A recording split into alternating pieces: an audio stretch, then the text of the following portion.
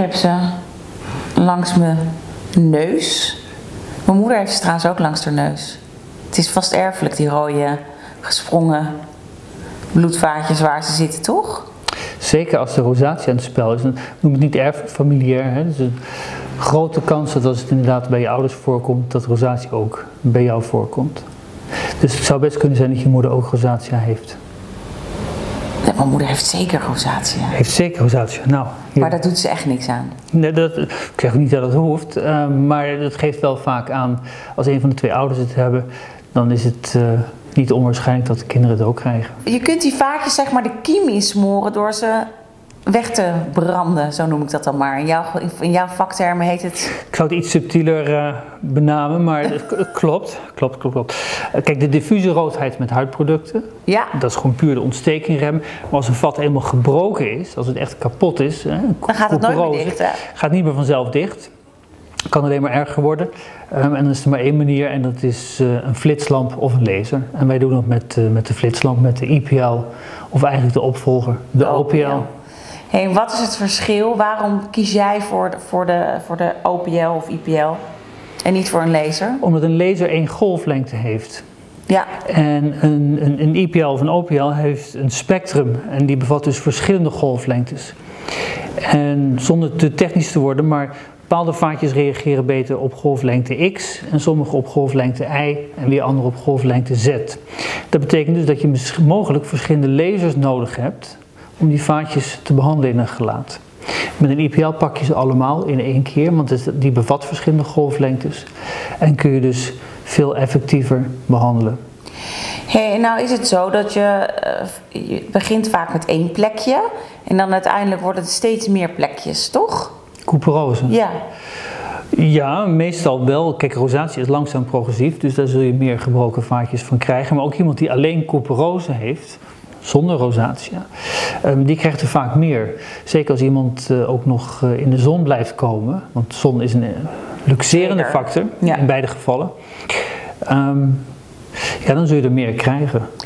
Hey, en is het zo dat, dat, dat die IPL, OPL, ik noem het maar even zo, Ja, ehm, dat die ook nieuwe, eh, nieuwe bloedvaatjes helpt voorkomen? Nee, nee, helaas niet. ehm, want dat zijn nu nog gewoon gezonde vaatjes. Ja. Ehm, dus daar, daar kun je niet zo heel veel aan doen met je IPL. Ehm, wat we ook mensen adviseren is als we eenmaal een behandeling gedaan hebben, dat zijn er vaak tussen de 2 en de 4, om alle vaatjes weg te krijgen, eh, om dan één keer per jaar een soort touch-up te doen en te kijken welke vaatjes nieuw erbij zijn gekomen en om die weg te flitsen. Oké, dus het is niet zo dat als je het één keer doet, net zoals bij permanente ontharing is ook niet permanent. Dit is gewoon hiermee haal je dus de. De beschadigde vaatjes die er zijn, die haal je weg. Maar er kunnen nieuwe vaatjes opnieuw beschadigen. Ja, en dan. En dan, dan één keer per jaar. En wat kost een behandeling? Het hangt van het oppervlakte af. Een vanafprijs. Het allerkleinste stukje huid 75 euro. Een gemiddelde prijs. Een gemiddelde prijs 255. En dan moet je dus ongeveer twee tot vier behandelingen doen. Klopt, ja. Ehm, we hebben abonnementen zoals je weet. Hè? Ja. Ehm, dus daar is altijd nog wel iets eh, met die prijs te doen, maar dat, dat geeft een, een richting aan van, van waar je aan moet denken. Ehm, Wat mag ik daarvoor niet? Je mag niet in de zon, Nee. zes weken ervoor tot erna. Je mag geen zelfbruiners gebruiken. Ja. Ik zou geen dermabrasie of sterke exfolierende middelen gebruiken, ervoor en erna. Dat is eigenlijk het belangrijkste. En moet je je huid nog voorbereiden? Nee, met een, eh, met een flitslamp is er verder geen voorbereiding nodig. Behalve een zonbeschermer die we adviseren. Eh, maar die adviseren we eigenlijk altijd al. Eh, dus dat is niks nieuws. Ehm, verder geen speciale voorbereiding. En komt er daarvoor in de plaats dan weer gewoon een gezonde cellen? Nou, eh, je haalt het gewoon het vat, haal je, haal je weg. Hè? Want wat, wat de IPL doet, is die verwarmt het hemoglobine in de rode bloedcellen. Ja.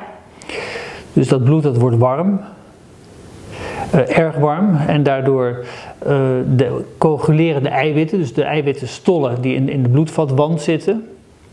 Ehm, en daardoor plakt die bloedvatwand aan elkaar en, en wordt je vat opgeruimd. En je ziet dat al tijdens de behandeling vaak dat zo'n vat of donkerrood of grijs aankleurt of zelfs helemaal verdwijnt.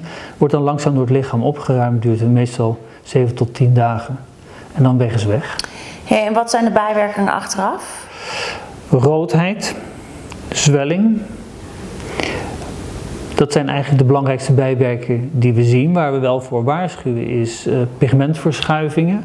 Ja. Meer pigment, maar ook minder pigment. En vandaar dat het belangrijk is dat je niet in de zon komt.